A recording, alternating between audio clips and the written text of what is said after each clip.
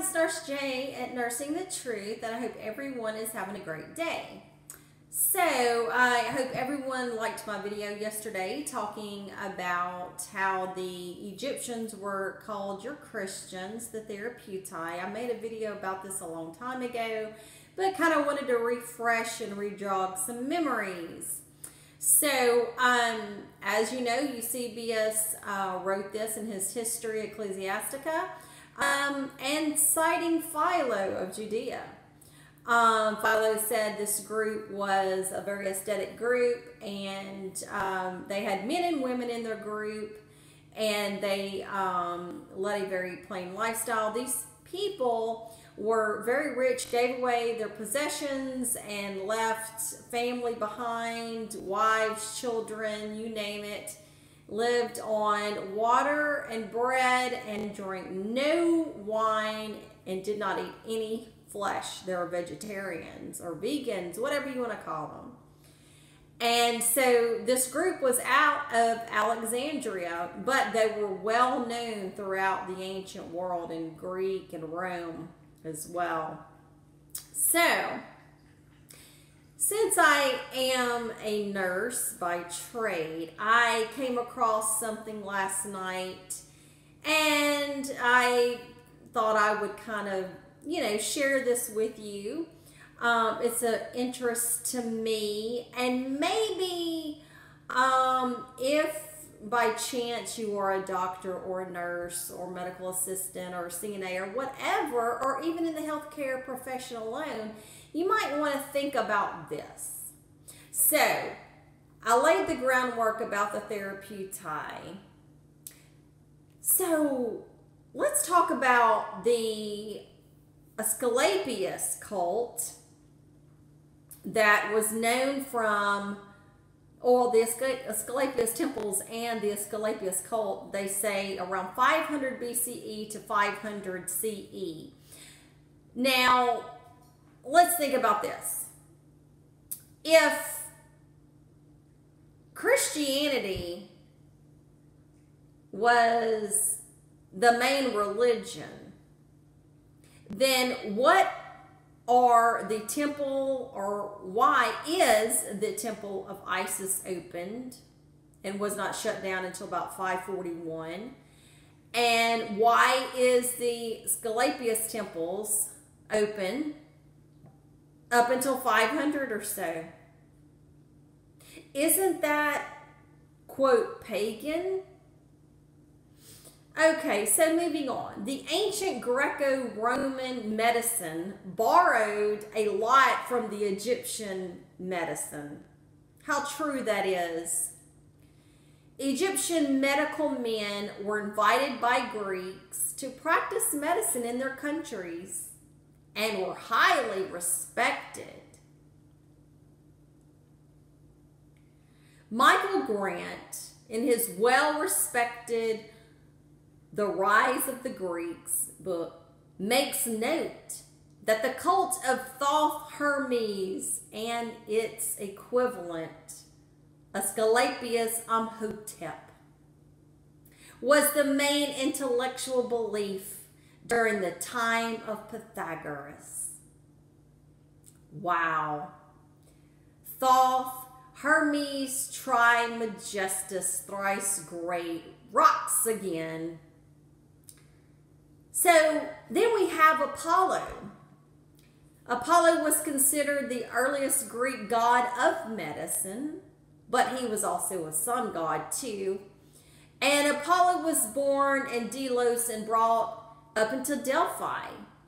Here, as the legend goes, the infant Apollo slew a python or a monster that had plagued the site Following this, Delphi became a sacred place in Greece where oracles occurred. Apollo is regarding as having taught the art of healing to Achilles, Asclepius, and Jason, Jason of the Argonauts. And if you watch the movie Immortals, it talks about the Sibylline oracles and you know you hear about the oracles of delphi You hear the oracles in Egypt and Memphis. Now we have Asclepius was considered to be the son of Apollo and a mortal woman. Ancient written sources report that the that he healed many sick whose lives had been despaired of and brought back to life many who died. Let me uh, get this for my dog. Hold on, guys. Sorry, this Jack Russell was playing with this bottle. No, you may not have the bottle. Okay, so moving on. Major temples and shrines and healing centers were scattered across the empire according to the ancient sources. Perhaps the best resource available on the Asclepius cult in the empire is located. Um, and this information I got off of mountainman.com.au. You may look this up for yourself. So it gives a list of where all of these temples and shrines are located, guys. So I'm going to read a handful of where these temples were located. Messenia, Algana, uh, the Ptolemaic Egypt, Argolos, um, Lydia, Arcadia, um, trying to get some that I can say. Focus and Thessalonica. So these things are everywhere. Now, it even tells you, you know, that these writers wrote about these things like Herodotus, Plato, Strabo, uh, Philostratus, Ovid, Cicero, Pliny the Elder, Seneca. I mean, so they all knew about this stuff. Pythagoras, um, he was a mathematician and a physicist, and he had a profound influence on medicine. Finally, the Jack Russells in the kennel. Lay down. Y'all are going to have to help me with this dog and um, Sophocles. Now, listen to this, guys. Now, Sophocles was in 496 to 406 BC. The life tells us that Sophocles served as a priest to Asclepius, god of healing and medicine. In the center of Asclepius' temple lived a great serpent an embodiment of the God Himself. Once during the relocation of the temple to Athens, Greece, the snake lived in Sophocles' house till his new quarters were ready. Wow, Inky was busy. Hippocrates, 460 to 370 BCE. generally considered the father of medicine. You know, I like how that is generally considered. An astute Greek physician who was born on the island of Kos, but probably practiced in Rhodes. He was the first to maintain records of his patients, complaints, and his own observations. It was Hippocrates who enunciated the physician's oath, known as the Hippocratic Oath. He was the first to maintain records of his patients' complaints. Well, let's go back to the Ebers Papyri thousands of years before Greek ever knew what the hell was going on. And they found this papyri of the ills, what could have been, and what they did for it. So you make up your own mind. Who was first? it was Egypt.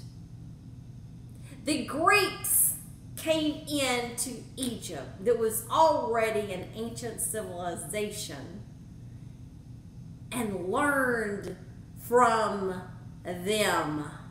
But you see, the Greeks, when they conquered and took everything and put a spin on it and sold it, and the Romans came in and took what the Greeks had, what the Greeks learned from the Romans, and they put their spin on it, then it is what it is. And that's my new term. I'm going to get a t shirt. I'm going to put it is what it is.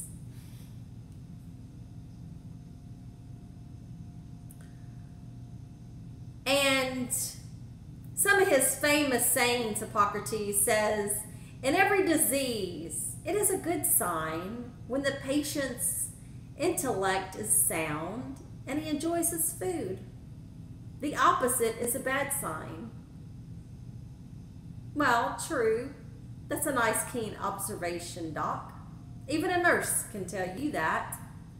So, Life is short and the art long. Opportunity is fleeting. Experience fallacious. Judgment is difficult.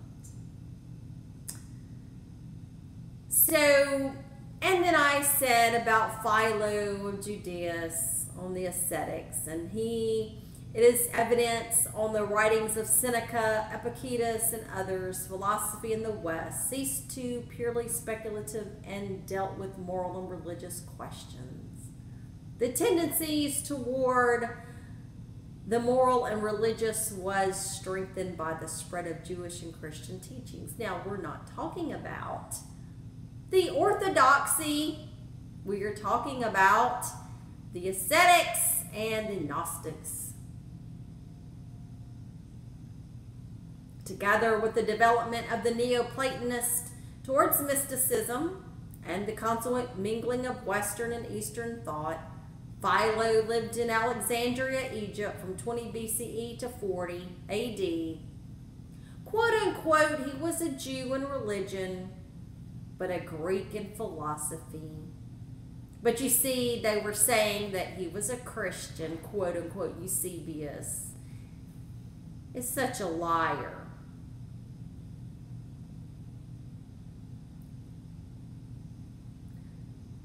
You know, the selection below describes the pre-Christian ascetics of Egypt, and it is important because it shows the asceticism was common in the deserts of Egypt even before the Christian monks, and thus by no means peculiarly Christian. And he goes on to talk about that, which was pretty pretty lengthy. Um, now, on the coinage of the Roman Empire, 54 CE to 324 CE. Now, the Edict of Milan in 313, I think, where they were allowing this Christianity like this Gnosticism, therapeutai, and all that to be mingled in with the pagans, quote, whatever. And so now we have coins, but wait. I thought it was an orthodoxy back then already.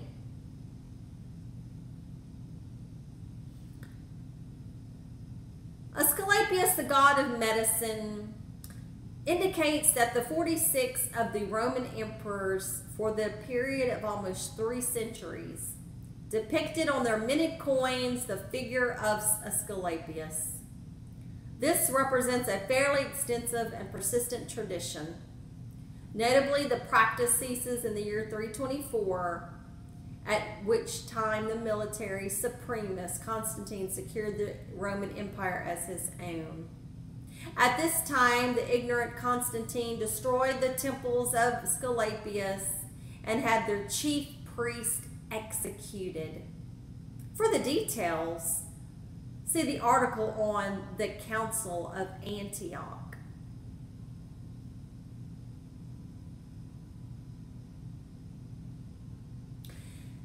These are some of the emperors who depicted Scalapius on their coins. Nero, Galba, Vespasian, Titus, Domitian, Trajan, Trajan Hadrian, Sabina, Antonius Pius, Faustina, Marcus Aurelius, and so on and so forth, the Commodus, the nut job, and all that.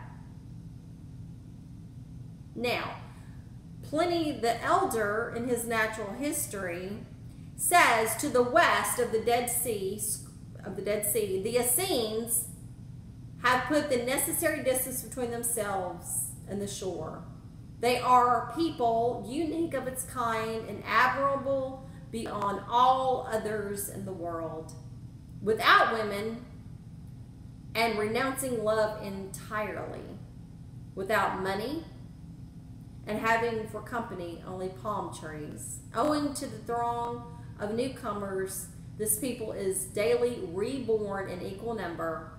Indeed, those whom worried by the fluctuations of fortune Life leads to adopt their customs, stream in great numbers.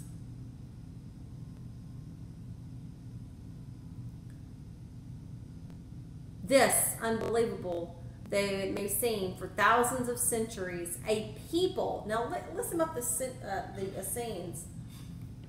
And, you know, this also could be a branch off of uh, Judaism. Well, it is. It's a branch of Judaism or off the shoot of that. But could it be Akhenaten sways? Thus, unbelievable though this may seem for thousands of centuries, a people has existed which is eternal yet, into which no one is born. So fruitful for them is the repentance which others feel for their past lives. Now, Josephus, he says, which we have to take Josephus with a grain of salt. And he talks about Herod and the Essenes. And he protected the Essenes. He says, the Essenes also, as we call a sect of ours, were excused from the imposition. These men lead the same kind of life as do those whom the Greeks call Pythagoreans. So Herod was pretty cool with them. And so I'm not going to read this big O thing there. Oh, now this is one of my favorites. 95 CE. Apollonius of Tyana. Man, he rocks. You hear me? I love Apollonius of Tyana. You must read the book um, by Philostratus about his life. Interesting, interesting. Um, the treatise is mentioned by Philostratus, who tells us that is that it set down the proper method of sacrifice to every god, the proper hours of prayer and offering. It was wide in circulation and Philostratus had come across copies of it in many temples and cities and in the libraries of philosophers. Several fragments of it have been preserved, the most important of which is to be found in Eusebius in his preparation of the Evangelion. Okay. Now, Think about this, guys. Nowhere in Josephus's writings, which lived at the same time as Apollonius of Tyana, he says nothing of him. But Apollonius of Tyana has met with the Roman emperors and even gave oracles, even gave oracles to Vespasian and Titus. And even got sent to Rome. And they didn't like his teachings either. So, in this that Eusebius had, you know, Eusebius went everywhere. And the Library of Alexandria was still going when Eusebius was alive. Didn't get burned until 461, I believe. So he had everything at his fingertips. And think about this, guys. If Rome conquered Egypt in 30 BCE when Cleopatra was the last pharaoh. Do you not know how much information or how much pilfering and stealing they did before they burned it down? And where all of it is housed right now? Something to think about. And, and you know, a lot of people don't think, and that's the problem. So it says that in this Eusebius book, it says, um, quote unquote, from Apollonius of Tyana, "Tis best to make no sacrifice to God at all, no lighting of a fire, no calling him by any name that men employ for things to sense. For God is over all the first and only after him do come the other gods. G O D S plural.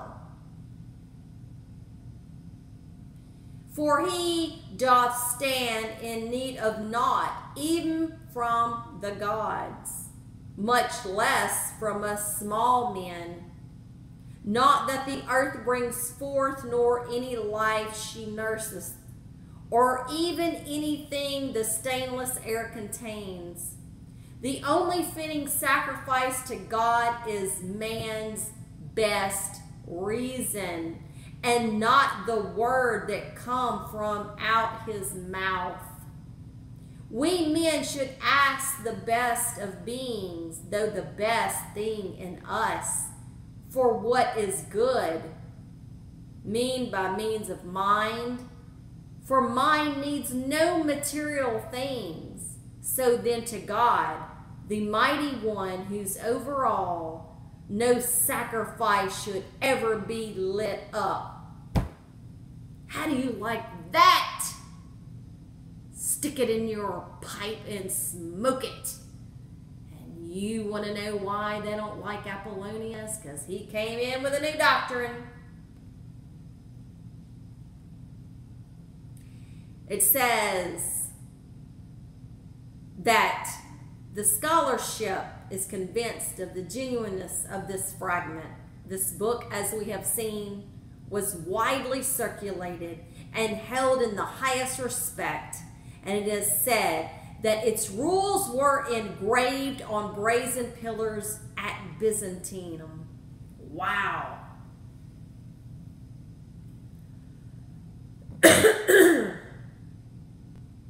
So, medical people, hope you're enjoying this because I sure am. In 150 CE, here we go. Christianity's still rocking, right?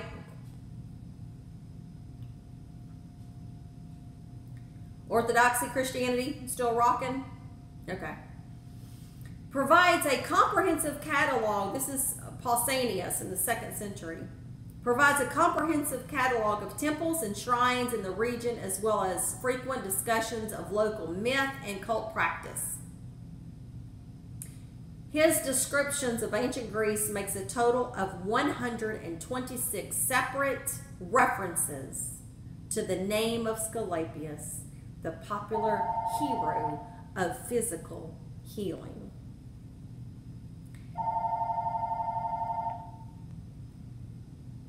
Sorry guys, I'm gonna have to let this phone go. Every time I do a video, there's something going on. 160 CE, Aristotides.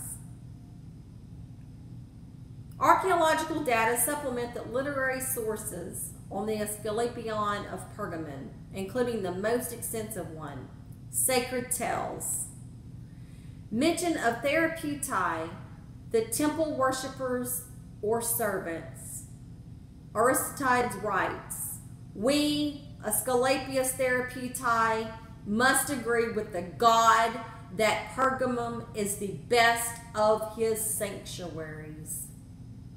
Asclepius is the one who guides and rules the universe, the savior of the whole and the guardian of immortals or if you wish to put it in the words of a tragic poet, the steerer of government. He who saves that which always exists and that which is in the state of becoming. Publius Aelius Aristides says, a sophist and a rhetorician, educated at Pergamon and Athens, widely traveled in Egypt and Asia Minor, arriving at Rome in 156 spent most of his time as a patient at the Asclepium at Pergamon, a friend of Marcus Aurelius. He became a priest of Asclepius at Smyrna. More than 50 of his orations and declarations are extant. 165. Claudius Galen of Pergamon. Galen use of the designation therapeutai to secure from Marcus Aurelius exemption from military service. This physician, Galen, was a private physician to Marcus Aurelius that was a good general, an emperor. in Galen's books, in his writings, he wrote 500 books. He often acknowledges his indebtedness to Hippocrates. Galen was a physician to the great philosopher Emperor Marcus Aurelius. He says, I know, he said, that I have often made a diagnosis from dreams, and guided by two very dear dreams, I once made an incision into the artery between the thumb and index finger on the right hand, nor, it seems, was this a unique success. I have saved many people, and Galen goes on to say, by applying a cure prescribed in a dream. Galen also put stress on the proper and frequent use of gymnastics, hence the importance and place of gymnasia. Throughout other ancient Greek medical writings, special exercises are prescribed as cures for specific diseases, showing the extent to which the Greeks considered health and fitness connected. A gymnasium was equivalent to our ideas of a university a gathering place for scholars and their pupils, complete with a library. Porphyry in 300, an abstinence from animal blood.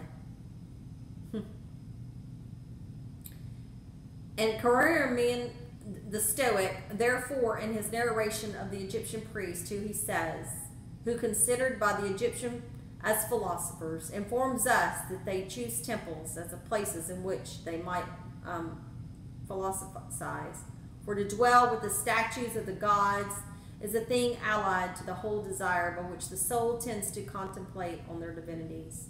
And from the divine veneration indeed, which was paid to them through the dwelling in temples, they obtained security, all men honoring these philosophers as they were certain sacred animals.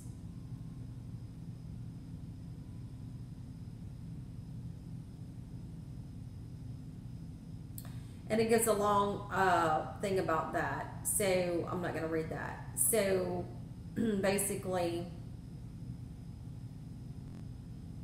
it has some things about Hesiod as well. In 310, Iamblichus on the Pythagorean on the Pythagorean way of life. They were um, he taught his disciples to avoid oaths Um, he counseled against seeking revenge on doing harm to one's enemies. He did not he did not wear wool, but he wore a white linen robe. He was a vegetarian and condemned animal sacrifices. He he told his friends to abstain from all animal blood and from wine. Hegibus 323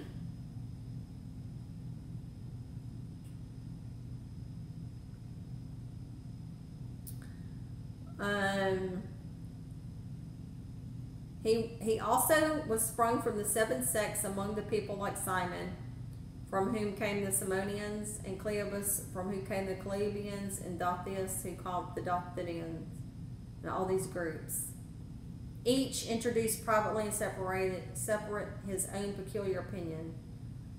From them came false Christs, false prophets, false apostles who divided the unity of the church by corrupt doctrines and uttered against God and against his Christ, talking about Hegesippus. From what Eusebius wrote. The same writer, Hegesippus, also records the ancient heresies which arose among the Jews in the following words. They were, moreover, various opinions in the circumcision among the children of Israel. The following were those that were opposed to the tribe of Judah and the Christ, Essenes, Galileans, Hemerobaptists, Masobathanians, Samaritans, Sadducees, and Pharisees. Eusebius of Caesarea in 324, excuse me, in Historia Ecclesiastica, he said that he said that Mark was the first that was sent to Egypt and that he proclaimed the gospel.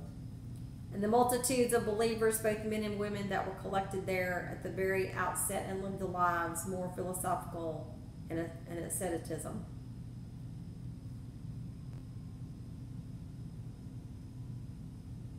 And talks about the therapeutic.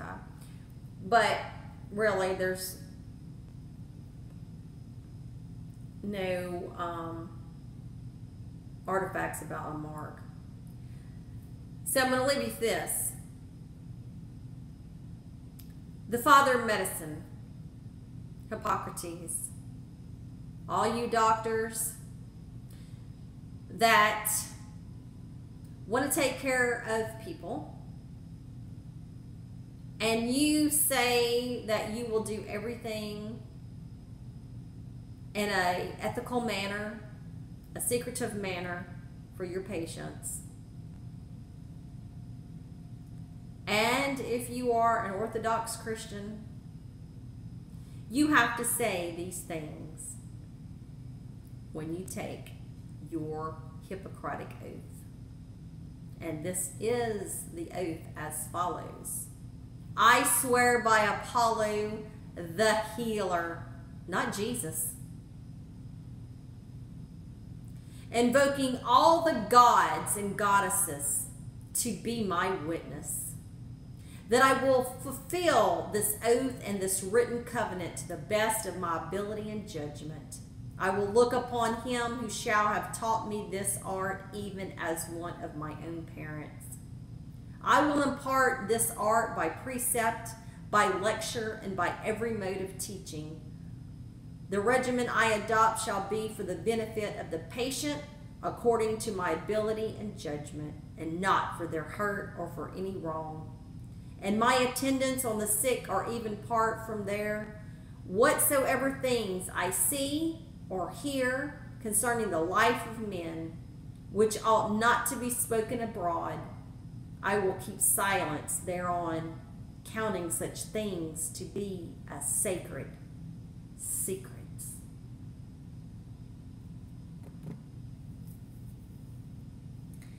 So, I hope you've liked this video, especially my medical subscribers and friends, because I enjoy it.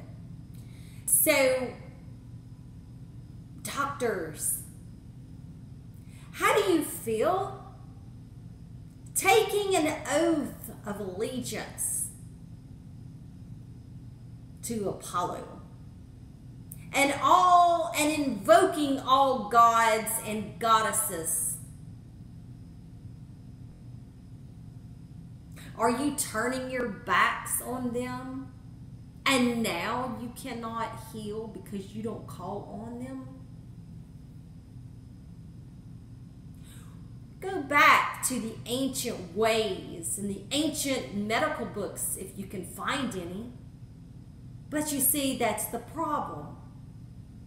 You're giving us poison. You're not giving us the real earthly things that we need for our earthly bodies. So then, Until next time, Hotep and I Ashe, and I hope you liked this video. Like, share, subscribe, hit your notification bell, and we'll see you on the next video, guys. Have a great day. Bye-bye.